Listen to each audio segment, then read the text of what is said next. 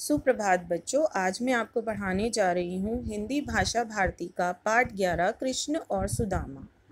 कठिन शब्द, निर्वाह, गुजारा करना, द्वारपाल, दरबान, निर्धन, गरीब, ब्राह्मण, पंडित, ऋषि, भौचक्का, हैरान रह जाना, विश्वकर्मा, एक नाम है, सिंहासन, राजगद्दी, स्वादिष्ट, बहुत ही स्वादिष्ट।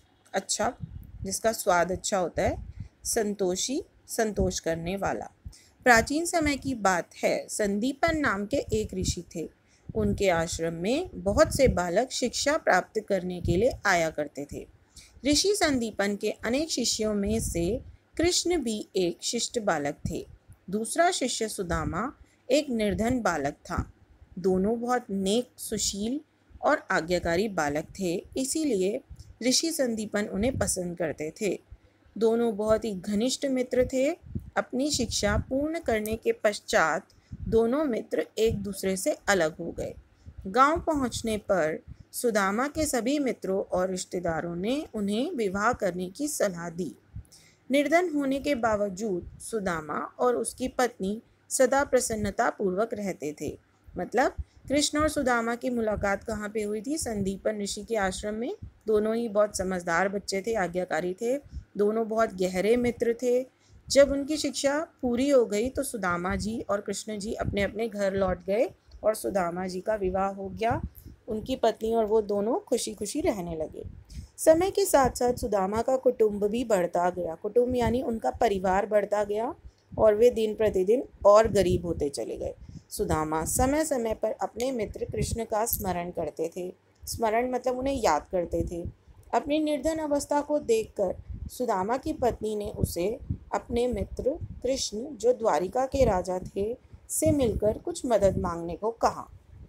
सुदामा अपने मित्र के लिए कुछ भेंट लेकर जाना चाहते थे। भेंट यानी उपहार, पर उन्हें कुछ नहीं मिला। बहुत खोजने पर उन्हें घर के एक कोने से कुछ सूखे चावल मिले, जो उन्होंने पोटली में बाँध लिए और मित्र से निक, मिलने निकल पड़े। अब कृष्ण अब कृष्ण के राजमहल के बाहर द्वारिका में सुदामा जी पहुँच गए हैं फटे पुराने वस्त्रों में। अब देखो क्या बात हो रही है। द्वारपाल ने पूछा कौन हो तुम? क्या ताक झाक कर रहे हो? सुदामा ने कहा भैया श्री कृष्ण यहीं रहते हैं ना? द्वारपाल ने कहा हाँ क्यों? सुदामा मैं बड़ी दूर से उनसे मिलने आया हूँ। द्वारपाल क्या काम है तुम्हें? सुदामा काम तो मुझे कुछ भी नहीं है। द्वारपाल बिना काम तुम उनसे नहीं मिल सकते। जाओ यहाँ से चले जाओ। जाओ अपना रास्ता नापो मतलब यहाँ से चले जाओ। सुदामा, भाई मैं उनका बाल सका हूँ, बड़ी दूर से उनसे मिलने आया हूँ।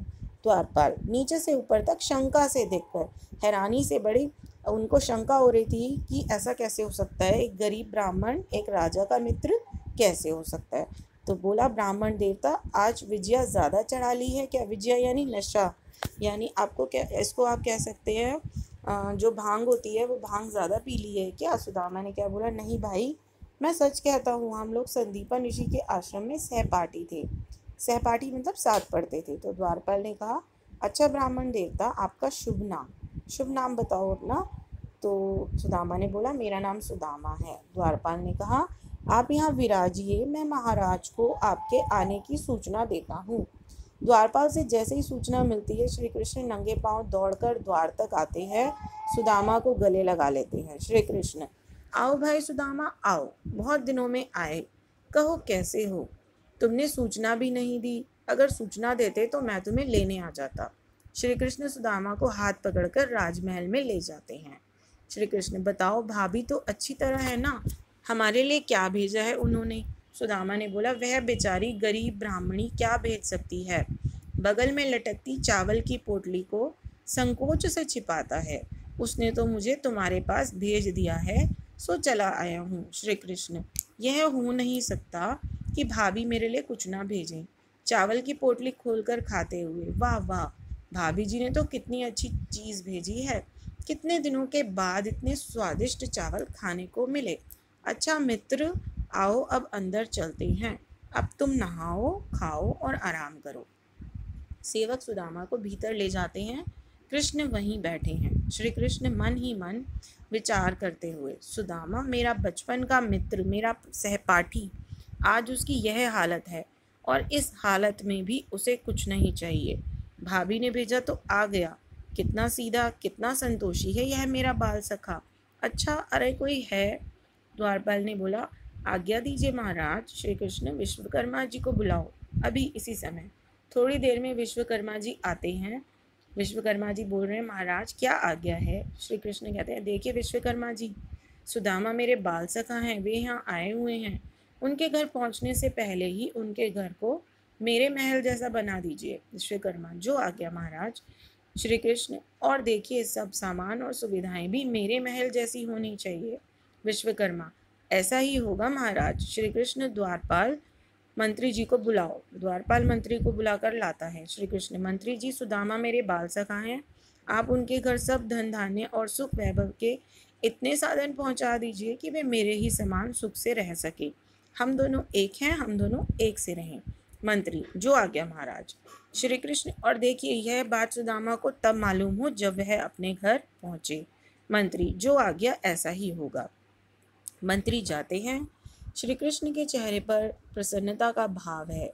सुदामा का अपने गाँव में प्रवेश। अब सुदामा को नहीं पता था कि श्री कृष्ण जी उनके घर पहुँचने से पहले उनकी झोपड़ी के जगह पे महल बनवा देंगे और उनके घर में सब सुख सुविधाओं के साधन पहुँचा देंगे।